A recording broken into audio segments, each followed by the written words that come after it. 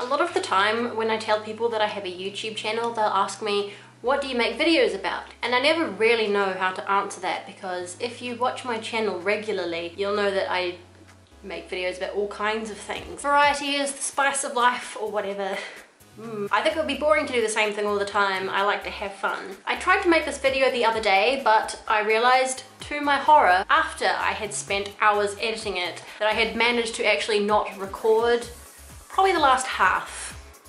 So that was really great. Anyway, we're here to have another go again. So there was an Asian grocery shop near my house and the other day I found this item of interest for sale there. This is a candy sushi making kit. I did actually learn Japanese, but it was a long time ago and I've never really had a use for it. But what this says on the front is Tanoshii Osushi Yasan, which I believe loosely translates to Fun Mr. Sushi Shop. Please forgive my yucky nails.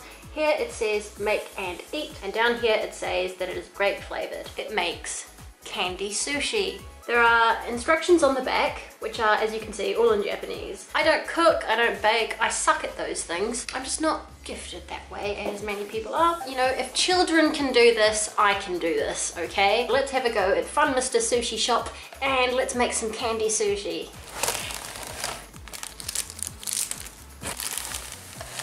Here's the little tray and all the sachets inside and each thing makes a different part of the sushi. And this is supposed to look quite realistic. Okay, so the first thing we do, we put some water into this little dish here that says number one. If you want to do this, there are websites that have the instructions in English. First we take our gohan nomoto, which is, gohan means rice, so this is the powder that makes the rice. And this is supposed to look quite a lot like real rice, they say.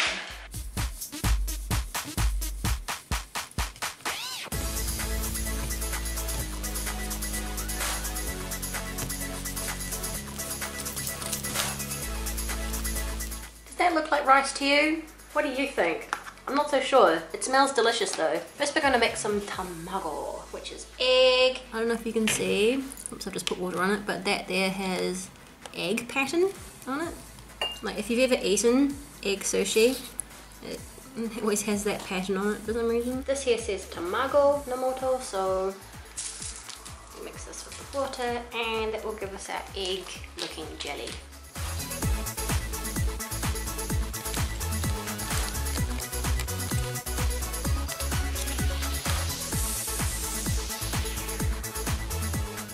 Thing we're going to make is tuna. And this is the little tuna jelly sachet. The kit comes with this little dropper for added water stuff.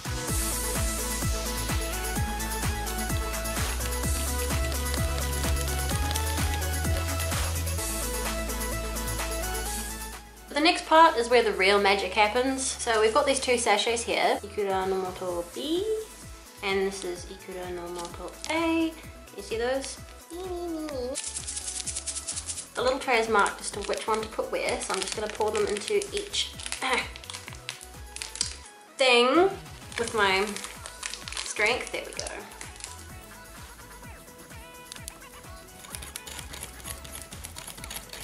And now I'll put in B very carefully.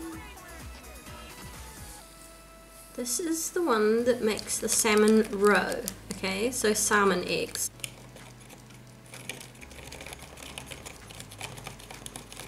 So what we do here is we take the little dropper and we suck up some of the orange stuff and drop it into the blue stuff. We're going to make salmon eggs from jelly.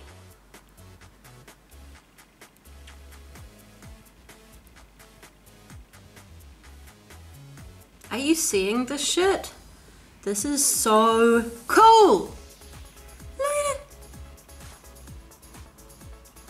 It says to drop them from a height of about three centimeters.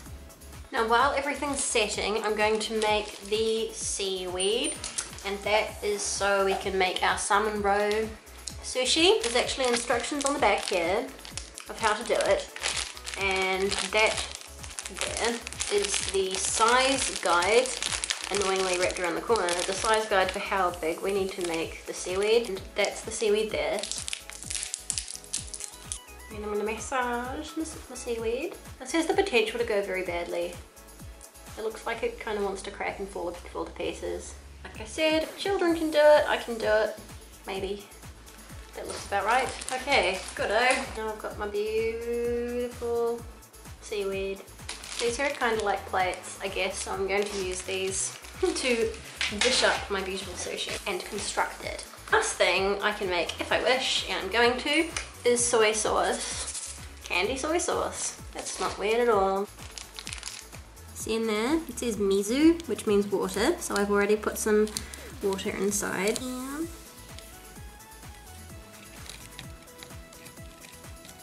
Okay, so now I'm going to try and actually construct sushi. As you can see from the box, it makes four different kinds of sushi. So we've got the salmon roe sushi, tuna, egg, and this is combination sushi. Make a little squishy ball thing. How's that? It does kind of look like rice, doesn't it? That's actually pretty weird. No, I tipped it in the soy sauce by accident. Look at that. It actually looks like egg, like egg sushi, which as we all know for some reason looks nothing like actual egg. Ta-da! I made one! Now I'll make a tuna one.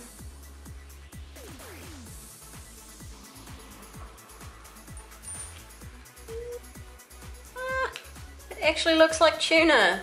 It actually looks like tuna. Okay. Ah, okay, so they don't like to stand up. Stay. Stay. Okay, next I'm gonna make the salmon roe. We're going to take this beautiful piece of seaweed and wrap it around this beautiful piece of rice. Oh, nearly. No, it broke. It broke. Uh. Take some more wave. Okay, please work. Please work. Please look cute and delicious for me. Yeah, there we go. That's pretty hideous. What we do now is we scoop. Oh my god, these are so cute! Look at them! Oh, stick them on here. Oh, look at it. I think that's I think that's not too bad. See if I can get some more on. Lol. Lastly, we make the combination sushi, which basically we just stick everything that remains together. So what we really make is just a mess. So basically, I think we just take the remaining stuff and just like chop it up or whatever and stick it on this. I don't know. I don't know. But okay. Combination sushi, aka we couldn't think of a fourth idea, so do you have a favorite kind of sushi? My favorite is ebi nigiri. I like um, prawn, prawn sushi. Yep, so basically the last piece is just a giant blob of what? Oh, it's beautiful. It's an absolute work of art.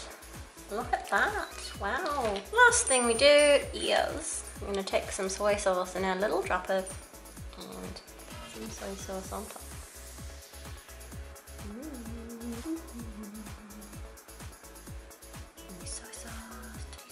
Candy, so, so delicious sushi candy. Uh, yeah. I guess the only thing left to do now is to eat them. Let's go in order that we made them. Take a last look at our be beautiful tamago sushi thing. Mm.